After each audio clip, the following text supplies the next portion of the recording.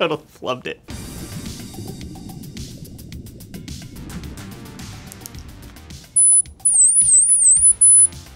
Uh, this is a unit named Chat Light that we develop here at Georgia Tech. Uh, we developed this for some marine biologists who are working in the open ocean studying wild dolphin behavior and communication. And they needed a way to play sounds that were going to be reproducible by those dolphins.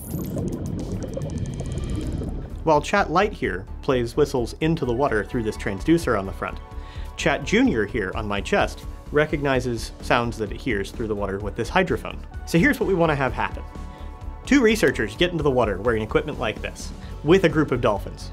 And researcher A might have a, scarf, a toy that the dolphins want to play with, while researcher B is going to ask for that scarf. So researcher B can play a sound, like this scarf whistle, and researcher A will hand researcher B that scarf. They might pass the scarf back and forth a couple of times, playing that whistle over and over. And the hope is the dolphins, who are watching all of this, can figure out the social context and can repeat that sound to ask for the scarf.